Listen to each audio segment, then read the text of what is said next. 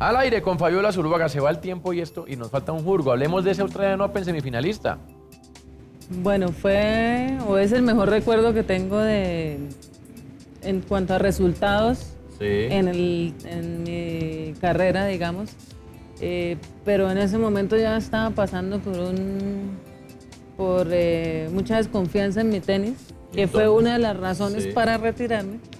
Y pues lo sufrí, fueron sufridos los partidos, eso que uno los quiere ganar, pero quiere tirar la bola ya cruzada y se le va paralela, o sea, no domina uno nada. Sí. Pero entonces se llegó a semifinal. Paradójico, ¿no? Sí, sí, sí. un W por ahí. Sí, con Moresmo.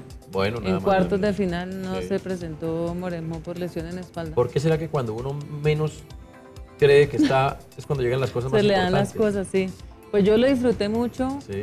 Mm, pues después de pensar lo que hice, ¿no? De la semifinal. ¿Ya pensaba en el retiro dentro de usted? Eh, eh, sí, ya llevaba como un año pensando. Es que fue larguito el... Claro, el cansancio y todo eso. Sí, sí, sí. Pero amanece el lunes después de la Australian. ¿Con quién perdió en semifinales? Con Justin Enant. Sí, sí, sí, sí. Y usted sale 16 del mundo. 16 del mundo, sí, el mejor ranking de, de mi vida, del tenis colombiano. Usted, usted mira eh, eso, porque en ese momento le pareció hasta normal, yo creo, pues está en su carrera, su trabajo, pero hoy mira para atrás y no le parece algo superlativo. Sí, pues a mí todavía me emociona que me pregunten, porque mucha gente todavía no, no sabe si fue 20, si fue exactamente el ranking y me preguntan todavía. Pues no, cuando a mí me dijeron, eh, me dijo mi entrenador Ricardo Sánchez, oye, amaneciste 16 de mundo. Y no, yo no puedo creer. ¿En qué ranking arrancó el australiano? Yo creo que, ah, fui siembra 32. Bueno, pues Fui la última siembra. nada mal. ¿Cómo así que había desconfianza de usted diciendo 32? Imagínese. O sea, si hubieran tenido un poquito de confianza, lo hubiera disfrutado más. Claro. Si así lo disfruté, imagínense cómo lo hubiera disfrutado estando pues en un mejor momento. ¿Cuánto duró 16? Eh, eso serían que como un mes, dos meses por ahí. Y le voy a decir algo. Ese número 16 tapó algo legendario también, que fue lo de Catalina Castaño, que por esa época era 33, 34. fue, ya fue 35, ha sido su mejor ranking. Es decir, pasó desapercibido lo de Catalina. Muy agradecida de estar con usted por su número 16. sí, sí, sí. Y bueno, ¿y por qué fue sorpresivo su retiro? Es que de verdad nadie lo esperaba. No, yo no se lo había comentado a nadie, pero se empezaron a juntar muchas cosas. Pues ya aunque todo el mundo cree que fue por eso, lo de siempre por el amor, como dicen, eh, yo me había casado en el 2004, diciembre del 2004. Ya pues no quería, la verdad, seguir jugando. Sí, cambia, la, cosa uno casado. El hombro fue, esa fue, la, mayor razón. Que no me quedó bien, lo que le decía que me dolía, no tenía la misma fuerza, la flexibilidad no era la misma, me empezó a doler entonces la espalda por protegerlo, no sé qué. Y la confianza la tenía por el suelo. Claro. Pero por el suelo era que no... Pero siendo top 50. Estando así. Estando así. Muy raro. Quería jugar a tal lado, quería hacer una jugada y me salía totalmente opuesto a lo que yo estaba pensando. O sea, no podía controlar nada. Empecé a perder ya partidos que yo creía que no debía perder. En Roma, por ejemplo, yo creo que el de Roma fue con Del Aqua, una, una italiana. Sí. Ese a ella le había ganado no sé cuántas veces habíamos jugado y todas las veces le había ganado fácil, perdí ese partido y salí de ahí, ese día tomé la decisión. ¿Y entonces por qué escogen el, el US Open para tirarse? Porque ya es el último torneo, digamos, de la, del año grande, el último Grand Slam. Después de ese viene una gira en octubre, que ya los torneos eran muy duros. O sea, eh, con el ranking que estaba, creo que era cuarenta y pico, tenía que irme a jugar qualis Dije, no, yo ya prefiero retirarme en cuadro principal, había ganado, era segunda ronda con Kim Clijsters, pues obviamente yo no quería perder con ella, pero dije, no, ya, este es mi, último torneo. Ya, estaba muy decidida. ¿Sí? ¿Nunca quiso volver? No, nunca. ¿Jamás? No. ¿Ni hoy en día? No, no. Uno ve, por ejemplo, a la, ¿cómo se llama la señora de Japón? Ah, sí, a... ¿A Kimiko Date? A Kimiko Date. Pues todavía está a los 44 años dando lora. No, pues es que no tiene hijos. Claro, la familia y todo eso. Sí, sí, sí. Mire, ¿y ve tenis hoy por televisión? No mucho, pero veo a Federer. Los partidos de Federer sí trato de, verlos. ¿Cómo lo ve ahora en esta temporada que estuvo, bueno, bueno, no estuvo mal, siete del mundo? No, para él malísima, pero ojalá hubiera sido una de las mías así. Eh, no, pues yo de él ya me hubiera retirado. ¿Verdad? No, pues es que ya empieza a costarle más trabajo, ya la otra gente ya viene más joven, con un entrenamiento diferente, ya saben cómo jugarle. Entonces ya empieza a complicársele un poquito la cosa. Además, para que no se desmitifique, ¿no?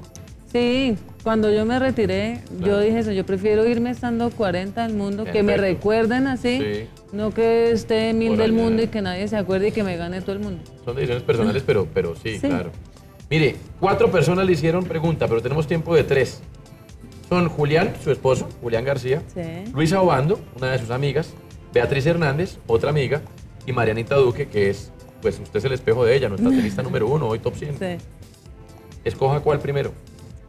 ¿A Julián? Ahí verá si no escoge a Julián, ¿no? Veamos qué dice Julián. Hola, Mesiguita. Me alegra que estés muy bien en la entrevista. Un saludo a Antonio y a todos los televidentes. Quisiera preguntarte sobre Jacob y Manuela. ¿Cómo los describes a ellos? ¿Qué tanto se parecen a ti? ¿Y qué tantas diferencias tienen ellos contigo? Mm, diferencias. Eh, creo que Manuela es más parecida al papá, es más extrovertida, es, em, aunque es tímida, pero cuando coge confianza habla más, así es el papá, el papá como buen periodista es entrador, hablador, no sé qué. Em, pero es como muy, muy, se guarda las cosas, como muy, ¿cómo se puede decir? ¿Introvertido? Sí, puede ser introvertido. Y Jacobo yo sí lo veo como mi espejo. Ese sí, es tímido, eh, no le gusta mucho estar con gente, prefiere estar en la casa. Claro. Eh, los dos sí tienen la, disciplina pues mía y que yo les he inculcado en estos, en estos años. Eh, los dos son muy cariñosos también, aunque yo no soy así la que muestro mucho, pero con ellos sí, sí soy bastante cariñoso. Está bien. Bueno, Luisa Beatriz o Mariana Duque. Luisa, vamos con Luisa. Luisa, veamos qué dice Luisa Bando, amiga de Fabiola. Bueno, Chola, aquí vamos a tratar de corcharla con la pregunta que vamos a hacer. Em, mi pregunta es, ¿qué es lo que más extraña de cuando jugaba tenis y por qué? No, de pronto, más que el jugar, como el ambiente fuera de las canchas, en los torneos. Por ejemplo, el ir a comer con las amigas. Claro. Eh, estar eh, en, un, en, el, en el Terry's Lounge, ahí donde descansa uno, no sé, jugando las maquinitas que colocan, jugando uno, o simplemente echando chisme ahí, tomando claro. cafecito, pasándola rico. Más eso. Que estar en la cancha central en el Sí, sí, sí. ¿De verdad? Sí. Vea. Bueno, ¿Beatriz o Mariana? Beatriz. Dejo por fuera a Mariana, se la va a cobrar. Pero es que ella es una amiga mía. Ah, bueno. Beatriz Hernández. Hola, nenita, ¿cómo estás? Así la llamamos aquí en la familia.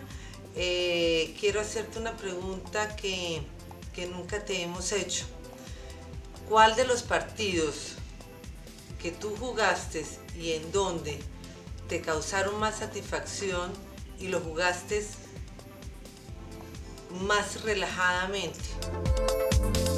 Eh, a ver, yo creo que el que más me ha llenado así, que me ha llegado al corazón, fue haberle ganado a Morismo en, en Sydney 2000, 2000. Claro, en Olimpiadas. Olímpicos, eh, jugando por el país, eh, jugando con, pues, con camisa de Colombia, que eso para nosotros no es normal, uno siempre está jugando por uno mismo, pues aunque al lado ponen el Colombia, pero es uno mismo el que está jugando.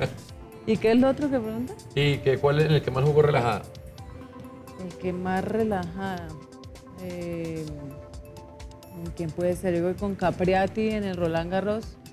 Eh, sentía como que mi confianza estaba en, uno de sus mejores Momentos, o en unos niveles más altos, sí.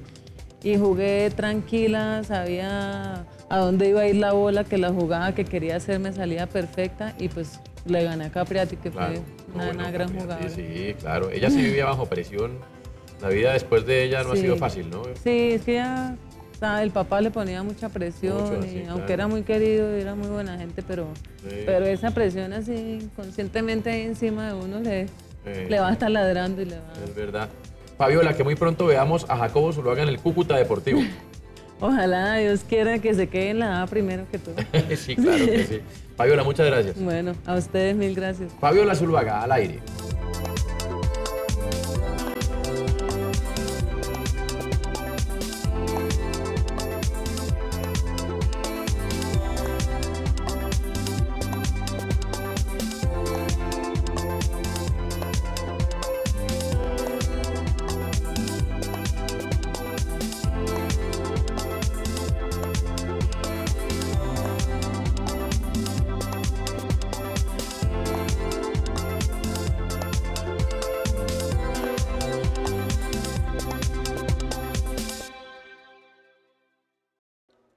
Este programa fue financiado a través de los recursos del Fondo para el Desarrollo de la Televisión y los contenidos de la Autoridad Nacional de Televisión.